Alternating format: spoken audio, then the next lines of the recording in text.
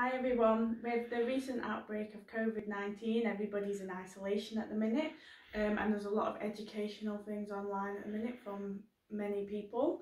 And for that reason, I thought I'd utilise my own skills and interests to produce a video on butterflies and bees and entomology as a whole um, from my home as I am in isolation as should everybody else be at home. Um, so the objectives of today, what I'd like to um, put forward is I'm going to talk about butterflies, how to class the classification of butterflies, the different type of butterflies you get, um, how to identify some of these butterflies, um, looking at my own um, uh, my own collection here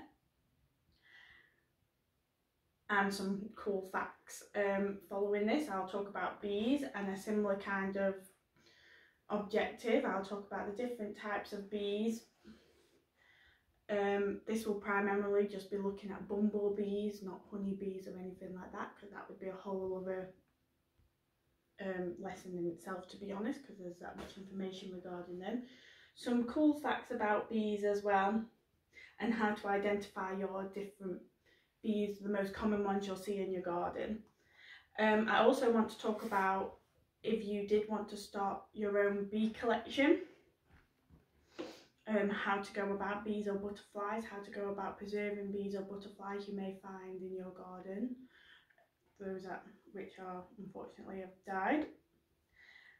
And um, the same with butterflies, how you spread the wings of a butterfly and how to preserve butterfly specimens. So yeah, that's going to be today's objective. I also want to discuss how you can conserve and make your garden wildlife friendly. So that's what today I'm going to go through. So I'll start with butterflies. So I want to start with saying how you how a classification system goes. So I'm going to use the example of a peacock butterfly, which I do have an example on in my collection here. Let me open this.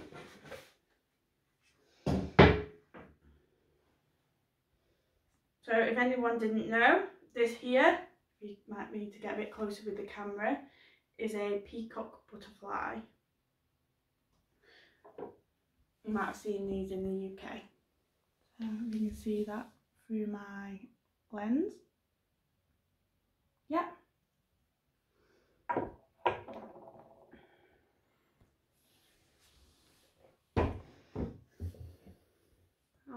yeah. So the way you classify any kind of animal in the animal kingdom is using phylum, class, order, family, genus, species. You might have not, you might have seen this at school or or learnt it whilst at school. So for example, for the peacock butterfly we just looked at, it's in the phylum Arthropoda. Um, the class Insecta, because it's a type of insects, the order Lepidoptera, you'll have to, I have to apologise, it's all in Latin and my Latin isn't that great. Um, its family is Nymphalidae and its species is Aglais io. I think that's how it's pronounced, probably not. Um, which is basically the Latin name for peacock butterfly, that's its common name. Um, so that's how, with anything, you classify it down from the phylum down to the species. Um, so you can see where its common ancestors has come from in the uh, evolutionary tree, if you remember that from school. So moving on from that, there's so many different types of butterflies in the UK alone. So I'm not going to, obviously, there's so many, I can't go through every single butterfly, but I will do my best to go through some of the main ones. So going through my specimens here, the main thing I've got in my personal possession are from the Nymphalidae family, so that's what we'll focus on primarily. Um, but there's so many different types. So you've got the Hesperiidae, which are basically your skipper butterflies. I don't have one in my possession, but I'll try and link some information pages below so you can actually see pictures of them. Um, the Pupilionaridae, which are your swallowtails, they're the really pretty ones with the long bits at the bottom. The Pieridae, which are your whites and yellows. Now I have got a small white. This is a small white specimen. It's not the best specimen. But that basically, you've got your big whites and your small whites. Your big whites look very, very similar to this. They're a bit bigger, suggested the name. But the big whites do not have the two black spots on it as the small whites do. Now it's nice to get a quite a good look at this specimen because when you see them in your garden, they're often in flight and you can barely see what butterflies look like. So having a collection like this really gives you a good look at butterflies, especially things like the the whites and the yellows, which are often in flight. The the should mention the whites and the yellow the whites, the small whites, you find them a lot on allotments and stuff. So if you're growing vegetables in your garden, you might want to look out for them. It's quite good as well, we're just gone in spring, so if you are in isolation and you do have a back garden, please take a, take a minute to actually look for what butterfly species are in there because they are quite beautiful. We have the Lycaenidae, which are the hair streaks, coppers and blues. The holly blues, you've probably seen them really beautiful and you see them quite a lot in Wales. Um, I wish I had one in my collection, but I sadly don't. And the, the small blue butterflies, the holly blues are absolutely gorgeous. I suggest you go and Google this now from your phone. And you've probably seen them a lot around and thought, wow, they're really pretty. The Riodinidae are the metals and marks, metal marks, shall I say. And again, going through the Nymphalidae, which into, include your fritillaries, your Nymphalidaes, and browns. So I'm going to go through these a bit more because I have plenty of these in my collection. So I'm going to start off with the Painted Lady, which is a beautiful specimen because I actually found this one in a charity shop. It's not found by myself and it's very well preserved. So if I can try and get this out of the box for you to have a really better look at it. So that is a painted lady specimen. Now painted ladies are often found in dry open spaces. They can actually build a speed up to 30 miles an hour and they actually migrate from Africa to the Arctic Circle and back. And I'm going to go into a bit more detail on this in a minute because that is a long way. Um, the other one is a speckled wood. I get this from my collection. The wing is a little bit damaged on this one. But this is a speckled wood, so it's your brown one. You probably see these quite a lot. All these ones I'm showing are very common. They're ones you'll find in your garden quite a lot. And these are a real success story at the minute. Um, it's quite a warm day today. So they've spread a lot in recent years. So they're actually doing really well. And they're actually being successful due to climate change. Now, I'm not saying climate change is a good thing, but some species do well, some species do badly. So that's your speckled wood. And you see them quite a lot in your meadows and stuff as well, obviously. But they still would be found in your back garden and stuff. So if you are in isolation, I don't suggest you go out and look for these. I guess if you're on your daily one exercise walk, then you can keep an eye out.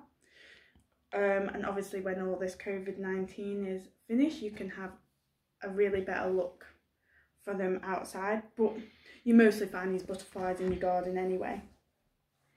So one of my favourite butterflies is the next one, and it's the peacock butterfly, and I showed you this earlier.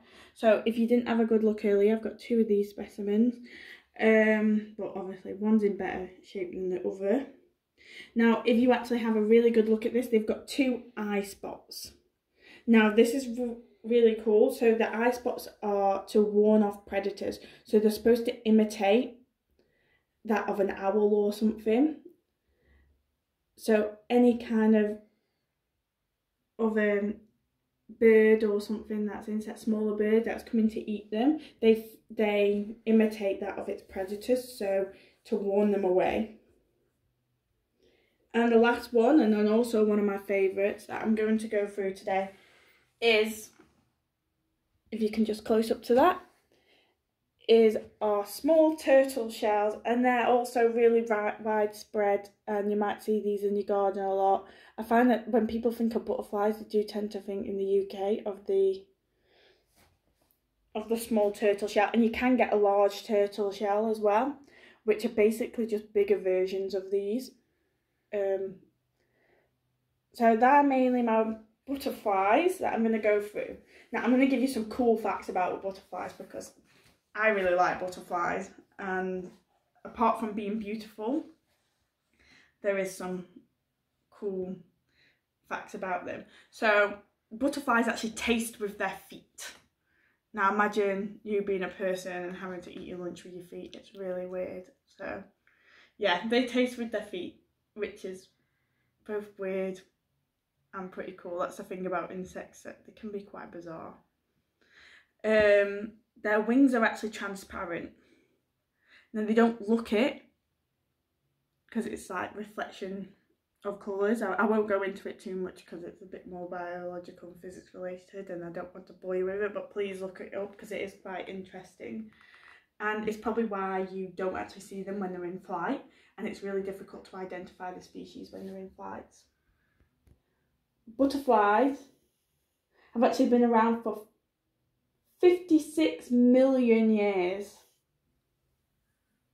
56 million years. Just think about that for a take, second. Take that in. That is a long time. Um, and one of the cool facts that I only recently learned, which I think is really interesting. Sorry, taking a sip of my coffee there. Is the way when we talked about uh, painted ladies earlier now, it's quite common knowledge that butterflies do not have that big of a lifespan. However, they do manage, so to actually get migrate from Africa to the Arctic Circle and back, it actually takes multiple, often takes multiple butterflies. And this is the same with the monarch butterflies, which are a bit more common in America. Um, so to actually get to do their whole migration, it's not just one butterfly, as you think, it's several butterflies that breed and stop off on the way. And then, but they still complete the whole migration circle as like natural instinct. Um, there's another thing I want to mention, which I've not got on here, which I think is really is something that people wonder is if you pick up a specimen, how do you know if it's a butterfly or a moth? Because they look quite alike, obviously. And the main thing you can differentiate between a butterfly and a moth is butterflies have kind of like, you know, when you draw pictures as a kid, they've got like the two blobs at the end of their antennae. So I do have, and I don't know if they've got their antennae on them actually, um, you can have a look at the butterfly specimens. I think this one's got one in Yeah, you can see it more with the with that. Can you see? It's kind of got a clear like blob at the end. Now with the moths, now I haven't got a moth specimen I can show you which still has its antennae sadly. But this one does, but the antennae is folded. But I think they've got one here. I don't think you are. They don't have the blob on the end, but it's actually quite like a, a feathered kind of look to it. So moths have like a feathery antennae rather than a blob and blob at the end of their antennae like a butterfly does. So that's how you know whether you've got a butterfly specimen or a moth specimen. So that's what I'm going to talk about about butterflies. I'm going to talk at the end about how you actually go about preserving them and building your own collection. But that's like your different UK butterflies you can look out for. So I'm to have to have a sip of my coffee. I have got a little bit of a cough, so. So, moving on, bees. I absolutely love bees and in particular here we're going to talk about bumblebees. I've got quite a collection of bumblebees because I find them quite a lot and I like them. Um, I should probably mention that everything in my collection I do not kill. They're just stuff that I find because I think expired insects are beautiful but I do not actively go out and kill them. Actually the opposite. I, I try and save them. Um, so going through a kind of a similar process. So like the peacock butterfly, like any animal in the animal kingdom, how we classify. So I've just done an example of a tree bumblebee, which are these ones here. They're quite distinctive looking. I've got loads of tree bumblebees. They're all these ones here in these two boxes. Yeah. Mm. I'll have a closer view after, don't you worry. So the tree bumblebee is phylum Arthropoda. So as you can see, the butterfly and the bees are both in the same phylum. They're also both in the same class. They're both part of Insecta. They're in, they've got a different order because they're Lepidoptera, which is the butterflies. They're both butterflies and moths, whereas these are in order Hymerimedia. I think that's well. And they're in the family Apidae. Their genus is Bombus, which is all the bumblebees, hence why you think Bumble Bomber, Bumble, Bumble Bombus, quite easy to remember. And for tree bumblebee, their species um, their species name, Latin name is Bombus hypnorum, hypnorum, I think, which basically is their Latin name for tree bumblebee. now, given that there's 250 different species in the UK, I am just going to go through the really common ones that you see in your garden that you could probably see on a really nice summer's day like it is today. And I've actually been starting I've actually been starting to see bumblebees come out. I saw my first bumblebee actually yesterday sat in my garden. Um, so it's really good time to actually start looking for your bees. Now, I can't really show you, I can show you kind of the buff-tailed and white-tailed bumblebee. And this is because they look so alike that it's really difficult to dif differentiate between them. So they're both found in February and October. And the only way you can really tell, but you can't really tell as much with the females, is the white-tailed bumblebees. The males have yellow facial hairs. Now, this is an example of what could be, and I can't tell you if this is going to be either a buff-tailed or a white-tailed bumblebee. Like I said, they just look so alike that you can never tell the difference between them unless you really are an expert in the field. Um, so if there's any experts in the field that can somehow ID this for me, I would appreciate it and please drop the comment down below. Um, generally the white-tailed bumblebees, they, they, they tend to have like a really white tail. So this one, for example, I actually think is a white-tailed bumblebee because it's the back of it is just really bright. The so, like I said, when people think bumblebees, they really just think of your standard bumblebee, which is like the white-tailed bumblebee. I think a lot of people don't realise how many different types of bumblebee are actually coming into their garden. So the other bumblebee is the early bumblebee. Now the early bumblebee is this big one here. Yeah. So as you can see with the white-tailed bumblebee, they have a stripe down their thorax. So if I can do an example of one.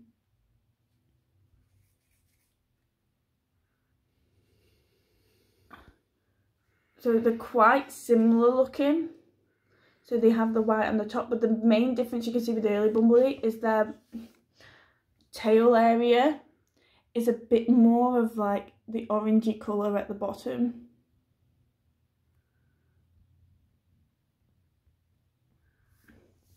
So that's all like the lines on the on their thorax. Now, early bumblebees, if you're lucky enough to have any raspberries or brambles around, that's when you really want to look for your early bumblebees because they really like their raspberry and bramble bushes. And again, the males have yellow face hairs on them. I don't know if I've got any males. You'd actually have to use the magnifying glass um, to actually see if they've got the yellow hairs on them.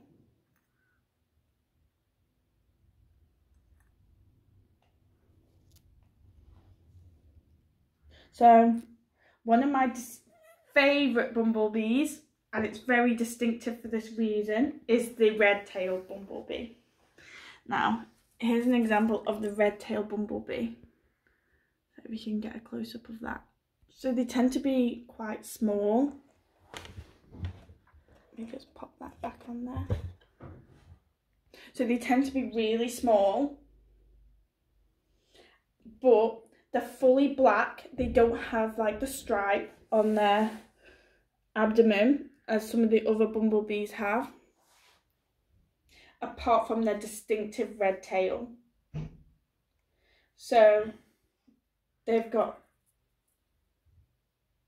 that so you'll find them on dandelions and bluebells my favourite flower bluebells you might find them in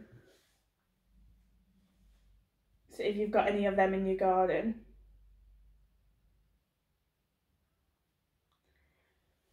um Again, garden bumblebees look very, very similar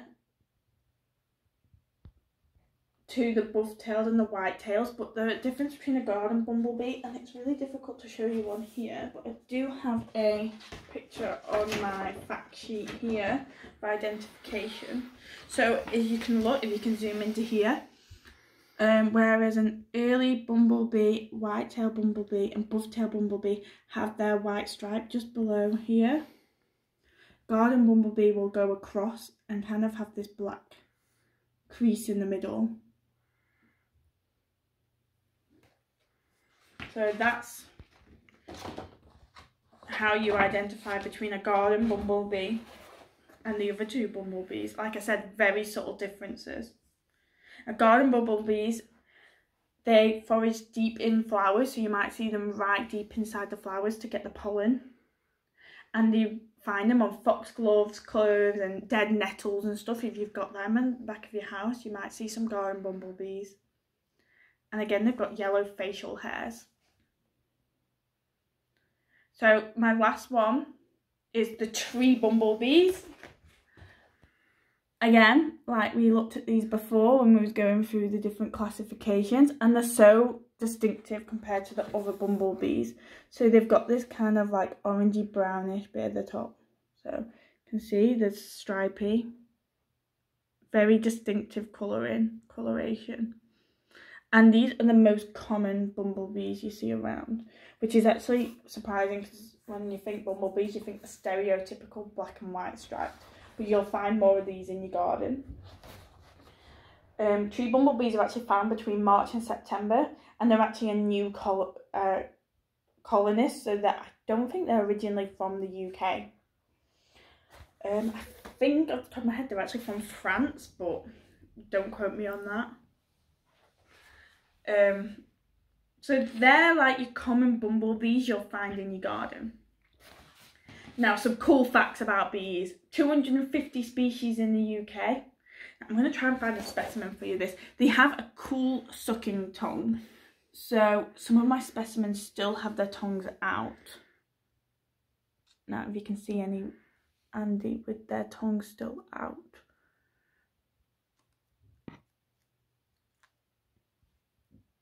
That would be pretty cool. Yeah, So they have this sucking tongue.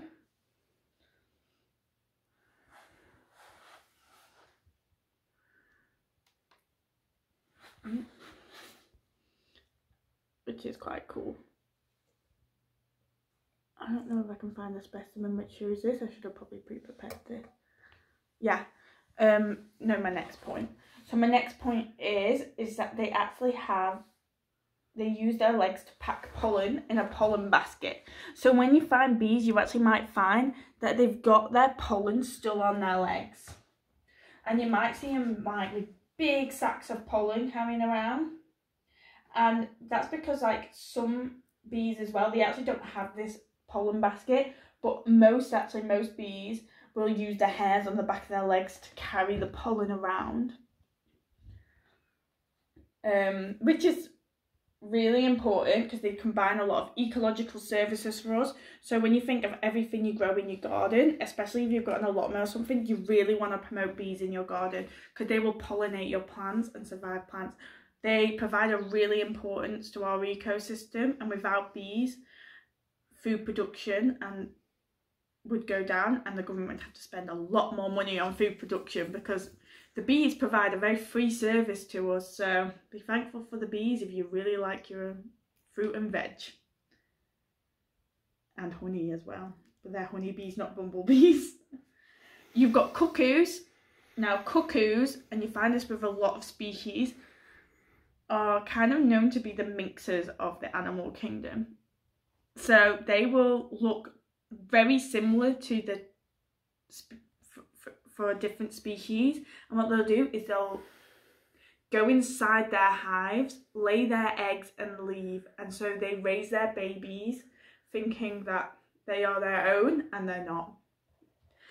And yeah, and that's how they survive. So yeah, look up cuckoos, they're quite minx, minxy little things.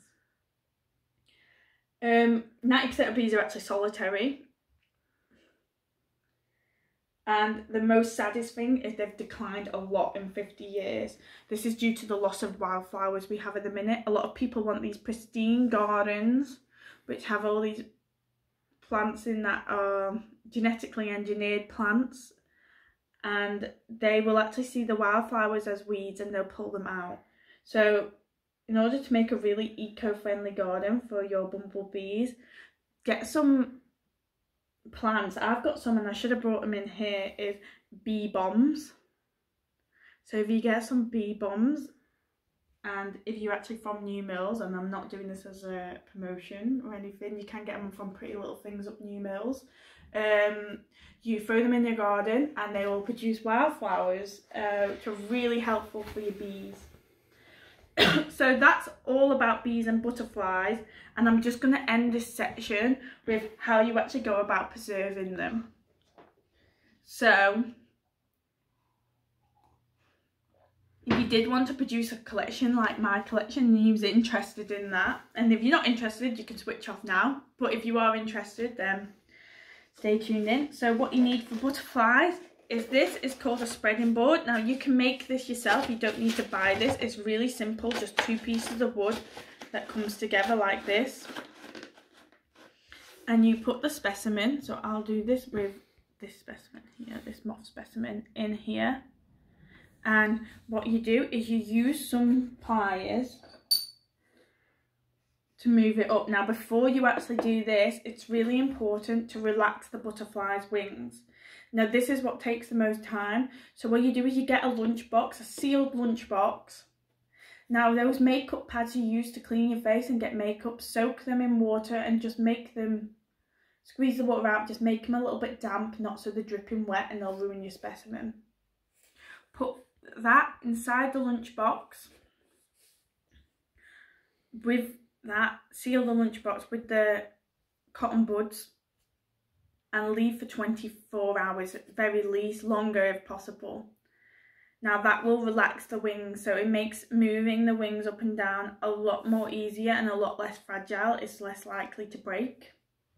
Now you use some, I've got this here, but you can use just tracing paper and you put this down here and you hold it in place like that. And what you do is you get, sorry if I just rip a piece of this off, you have got loads of, some people actually say you you should um you can use really fine pins to actually pin the wings. Now I disagree with pinning the wings, so you just hold it in place, not actually through the wings, because it's just damaging the wings and they can spread perfectly without putting pins inside the wings. So I really wouldn't suggest this, even though some people says that it's okay. Um, and then you put a pin through. You get different size pins through the middle of the butterfly there right through at the top so it doesn't damage any of the body. Now yeah, you hold that on by the way, you keep that on in place. You might need to use several pins for at least 24 hours before taking it off so it holds in place. Um, another thing that I'd always keep in your kit as well is insect glue. So if you do make any damage to a really nice specimen, you can glue the wings back on, but it is quite difficult to do. Um, Another thing you should have, but I've lost mine, is the blocks. So you have blocks which come in three different sizes and it just so it gets all the same level if you want to make your your collection look a lot neater. Finally, what you kind of want is some place cards, so you can just cut this off real card. I'm trying to put the scientific name underneath. I mean, it's not necessary, but that's how they do it in museums and stuff and it's kind of really good to keep up to date um, in what kind of specifications you've got. Um, what kind of specimens you've got, sorry. Finally, with the bees, the bees are a lot easier than doing the moths and the butterflies. The pin just goes straight through the centre of the bee at the top. And you don't need to do anything with the bee, such as spreading the wings and stuff, so they're a lot easier to preserve and pin. Um, it takes a lot of practice to do the butterfly wings. Um, I've, you know, damaged quite a lot of mine just trying to do it. And some specimens I just won't do it on. So this one I've decided to not spread the wings on because I think the way it's expired, it's nicer to see anyway. Um, and finally, it's all different with different insects, so it's really worth looking up. So, for example, I've got a beetle here. Now, beetles are up to the side is the best place to pin the insect. Um, so if you do find another insect you'd like to pin, such as like this beetle here, um, look it up beforehand on how you want to pin the insects. The final thing I want to to discuss just quickly is when you do find like a specimen there's so many websites and I'll try and pin them at the bottom which is really for recording what we see. So if you find something please record what you find through these record recording agencies because this will keep up to date the records and follow the conservation of the insects you find and see how populations are actually doing um so they can classify them and see which populations are doing good or bad. Um, finally, if you did want to do moth surveys, which it's not really the time of year, but hopefully we're all out of this mess by October. So if October comes around, then get some wine, some cheap wine, and if you're young, with your parents' permission, put it in a pan and boil it with a really load of sugar like loads of sugar. Now get a thick rope and soak that for 24 hours in the sugar wine. Um, hang it up and it attracts moths. So I did this and I found loads of moths and it's really good because every year they'll do a moth survey. So if you want to take part in the moth survey or bee surveys or butterfly surveys which are done every year then they're really fun to take part in and I'll try and post the links below. So that's what I'm going to finish up with and thank you and I hope you learned something today and you actually found it interesting. Um, please comment below if you found it interesting and I'll see what I can do in future. But yeah, thanks for tuning in. Bye.